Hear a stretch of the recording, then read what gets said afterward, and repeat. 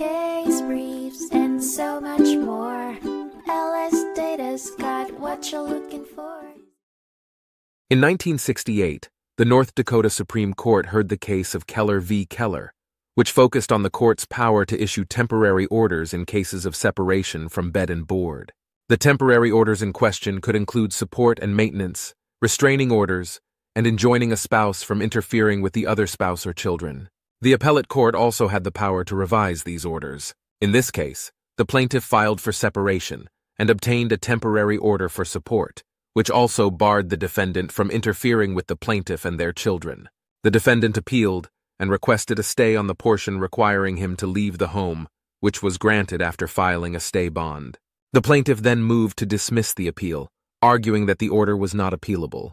With allegations of mistreatment and abuse by the defendant, the court held that the temporary order requiring the defendant to leave the shared home was properly granted, based on specific allegations of violence and threats. It was determined that the trial court did not abuse its discretion in issuing the temporary order, and a stay was not automatically required. Instead, the court used its discretion to decide whether to stay the order pending appeal. Case briefs, and so much more. What you're looking for. Visit lsd.law, elevate your mind. Leave the stress of class.